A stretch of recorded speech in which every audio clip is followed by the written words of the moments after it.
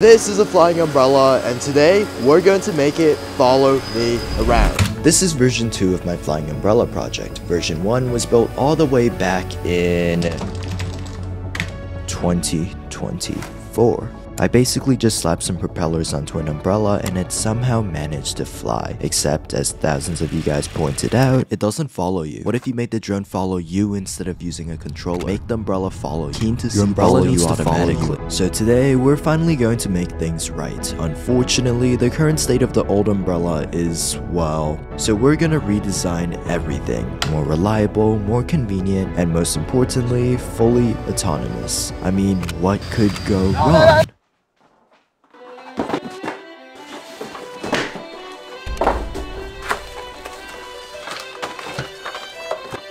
If you're wondering what this is, let me explain my plan. Before we build the upgraded flying umbrella, we need a tracking system that can follow a person. This can be done with a camera mounted under the umbrella, a depth sensor or LiDAR, a GPS, or even overseas teleoperators. No matter which method we use, it's going to take a lot of testing. Doing all that testing on a giant frame like the umbrella would be a nightmare. So instead, I'm building this smaller, normal looking drone to use as a testing platform.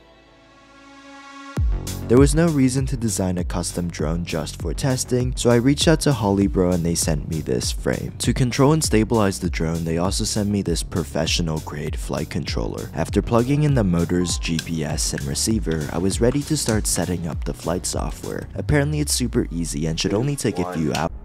It's currently day 16, and that took way longer than it should have. Although I did run into a few issues here and there, such as these misleading diagrams, the main reason it took so long is because I procrastinated. Hopefully this doesn't happen again for the rest of the project. Okay, great, now we have a reliable testing drone, but in order for it to autonomously follow a person around, we're going to need a few more components. So... This is a camera module, and this is another flight controller. But this time, we have a slot inside for a Raspberry Pi. The Raspberry Pi's job is to process the camera footage and pinpoint where my head is in real time. Then, it tells the flight controller to fly the drone towards this point so that it constantly stays centered. This should be pretty simple, but I only have two weeks to work on this project before school starts, so we're going to get some help. This is Hinson. He studies computer science at a relatively small university called Stanford, and he's one of the most cracked programmers I know. While Hinson starts working on the tracking code, I'll go and start building the actual umbrella. Now to make an umbrella fly, you need to put propellers on the sides, but the only solid enough mounting point is the middle rod. Yeah, do you have a solution? Yeah, what if we just connected the four propellers to the center using some sort of big frame? Well, we actually tried that last time, but the giant frame was just way too cumbersome and annoying to bring around. Hmm, I guess you are right. If only if there... Wait a second. What if we did folding arms? I feel like this mechanism shouldn't be that hard to recreate. Let's make a quick test model as a proof of concept. Nice. We also need the arms to lock firmly into place upon opening, but it seems like this mechanism has way too much wiggle room. But then I realized by simply changing the axes of rotation for this locking plate, we get rid of this problem completely. After a lot more designing, printing, and testing, I was able to come up with this design. Now let's just put four of them together and create our internal frame. If you're wondering how I'm able to use CAD directly in my browser, it's because I'm using Onshape. You can try it out 6 months for free using the link in my description. Okay, so here's the final design. We have the central hub that attaches to the umbrella, the locking mechanisms, the hinges, and these arms that we can simply reuse from last time, although I first had to resolder some of the wires and add some better ESCs. Let's get the rest of these parts 3D printed.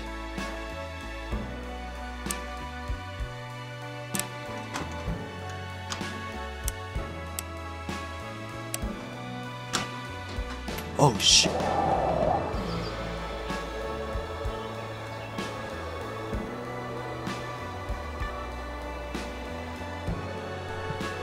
the start of this project, I was using my Bambu Lab X1C, but recently Bambu Lab sent me their new H2D.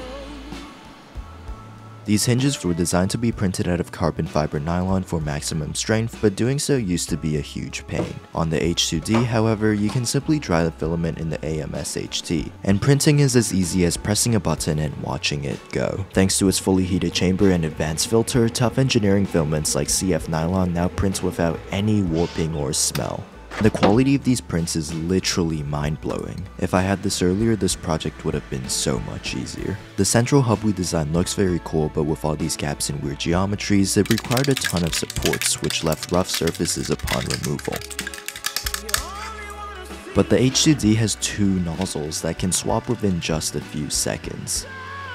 This means you can print in multiple materials and in our case use support filament with minimal changes to print time. For advanced engineering projects, the H2D is one of the best 3D printers you can get. But if you're just getting started, Bambu Lab has options for every budget and skill level. To learn more, check out the link in the description. Thank you Bambu Lab for supporting my projects and sponsoring this video. These supports remove so much cleaner than the previous ones.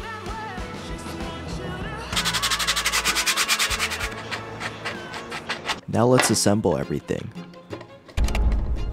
Originally I wanted to attach the umbrella to the frame permanently and create some sort of fancy collapsing mechanism, but we're just gonna friction fit it because I got too lazy. This rod sticks out a bit too much, so let's cut that off. Somehow the umbrella still works normally? Let's finish assembling the frame. All these little locking mechanisms are also printed with CF nylon and slid into place. And now we can just lock them in with some screws.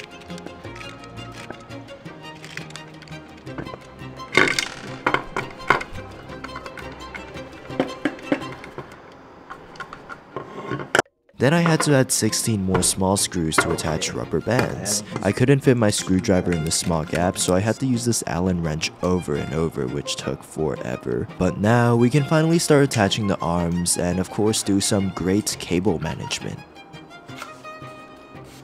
Now, when we fold the arm outwards, we can watch the rubber bands engage the mechanism and lock the arm in place.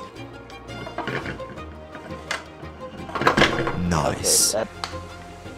Isn't that actually crazy? And now it's like the size of a tripod. And I just go boom, boom, boom, boom. How did I even make this?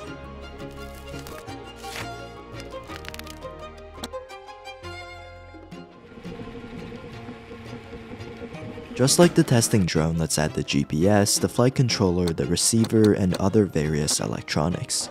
And now we're ready for our first test flight. Okay, flight test 1. Would the complex folding arms hold up, or would they cause too many vibrations for the flight controller? We were about to find out. No clue if this will work. First flight.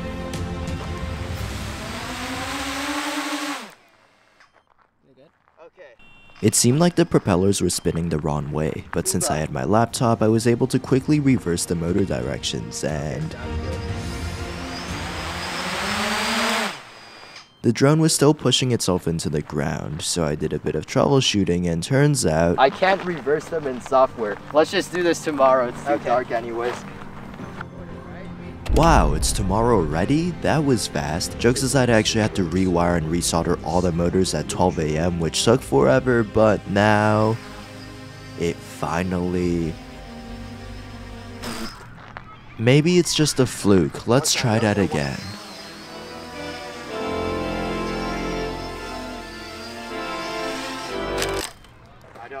After a bit of troubleshooting, I was able to fix the problem, and now... It was a bit shaky at first, but after using the GPS to set up a position hold, I was able to get this. And just for the fun of it, I decided to try attaching the umbrella as well. But let's save the full reveal for when the autonomous tracking feature is done. Speaking of that, the camera we chose earlier requires a custom tracking code and doesn't work if it's too dark. So instead, we're going to use... Wait, John, hear me out. This isn't your ordinary camera. This is a time of flight camera, and it sees in depth. Unlike a normal camera that captures light, this one emits light. Let's imagine the simplest scenario, trying to detect the distance to that wall. The TOF camera emits a single wave of light, which bounces off the wall and comes back. Now if you look closely, the returning light looks almost the same as what was sent out, just slightly shifted. This is called the phase shift, and by measuring it, the camera can directly calculate the distance. Isn't that just LiDAR? You might be thinking, isn't that just LiDAR? Most LiDAR use direct time of flight, which times how long a light pulse takes to return, which works great for these large buildings.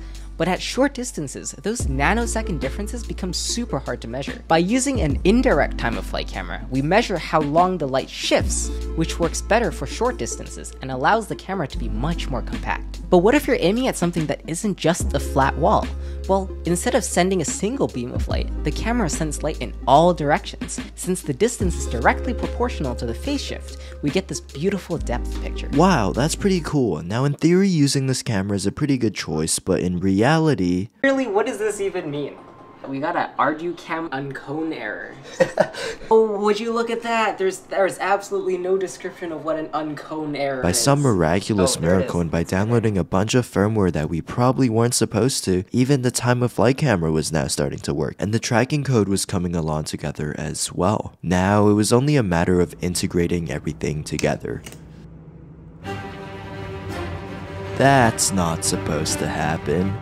Okay, so we had just got the top camera working and I decided to hold it high up above my head to test it out. But as I was bringing my hand up, it disconnected. And from that moment on, this board just refused to reconnect. No matter who we asked, no matter what we tried, this thing was just completely bricked. Is it the Raspberry Pi that's broken, or maybe it's the carrier board, or maybe it's the flight controller, or maybe the cable broke, or maybe my laptop isn't working. After a lot of troubleshooting, we determined it was probably the Raspberry Pi. But even if we were correct, with only 6 days left and the 4 day shipping time, we were cutting it really close. While waiting for the Raspberry Pi to arrive, I took the bare frame out for a few more test flights to perform some PID tuning so that it could fly more smoothly. But as the days passed, I couldn't stop worrying about how this project would turn out.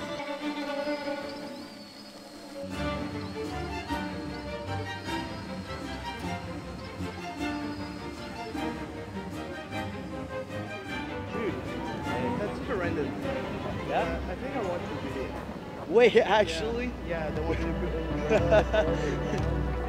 I guess that's so our project number two. Little did he know, this alleged project number 2 was on the brink of collapse. If this doesn't work, the project is officially over. Thank you guys. In three, two, one. Oh my god. Uh, well, it did something different. Oh different. my god. It did. I'm pretty Wait. sure. I'm pretty sure. Wait, I think I'm pretty sure. I think it worked. I'm pretty sure. It I think it worked too. It did not work.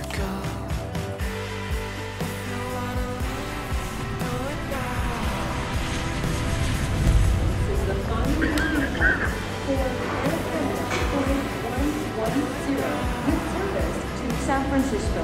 All And just like that, the project was officially over. I mean, we both had to go to school and we just couldn't afford to dedicate any more time. But no matter how busy I got, I just couldn't stop thinking about the project. So one day, I decided to give things another go. This time we're replacing every single component with a brand new one, so there should be no way anything fails to connect again. Let's go, it finally works again. Everything was going well at first, but when I tried to connect the only component I didn't replace, the time of flight camera, that didn't work. So I decided to scrap everything and try using a GPS system instead. So now this looks like a bomb.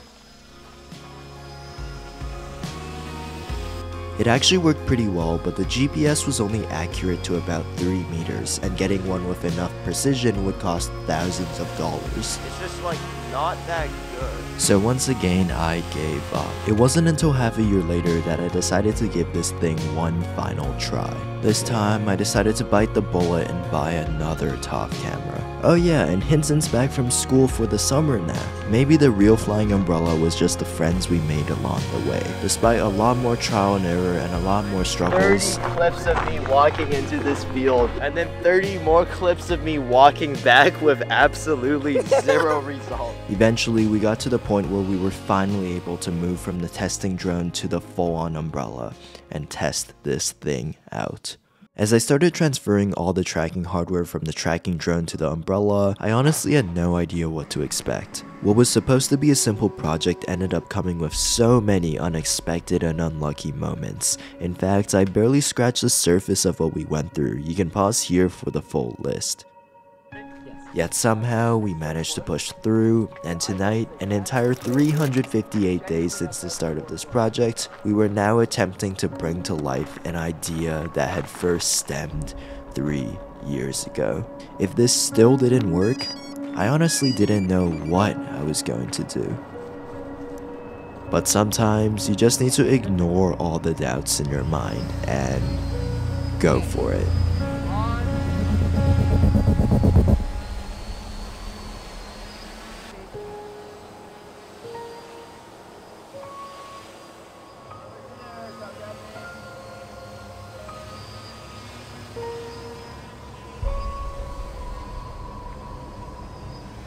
Even as it started getting darker, we just couldn't stop playing with this thing.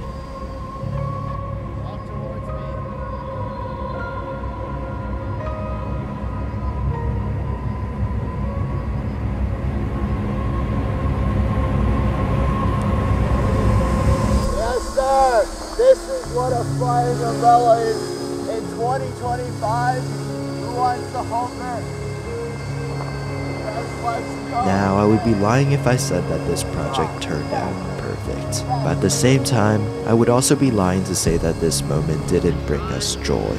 I mean, just look at it. It's like a dream, a literal floating umbrella, just dancing in the air. I've been a perfectionist my entire life. When we started this project, every single detail mattered. So when things went wrong or weren't perfect, it always felt crushing. But over the past year, I've learned that you can't let perfectionism stop you from finishing. Sometimes it's not about making something perfect, it's about making it real. And once it was finally real, there was only one thing left to test. That's right, this thing even works in heavy rain.